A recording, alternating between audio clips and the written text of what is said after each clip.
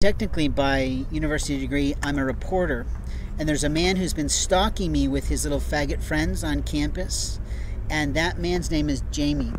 And anytime you mention the man's name, Jaimey, on my video channel, in any jest or any way, he shows up to show himself off in a stalking fashion. I'm not a gay man and I'm not interested in his idea that he can call me a bitch or a lesbian because look at me. I got a fucking beard, thank you very much, and I had a wife for 20 years. That man's never done one fucking thing right in his life. But he's stolen my thumb drives, he's stolen my intellectual property, and the police do nothing about it.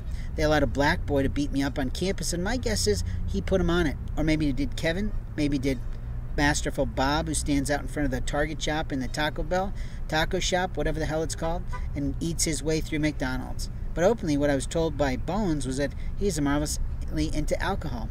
But a guy like me who's trying to move his life forward is always being pissed on by somebody in a shop. An interesting thing about Mexicans and other people who are here illegally is they like to put a legal name of a company on their Wi Fi networks of their phone so they can play around on our technology.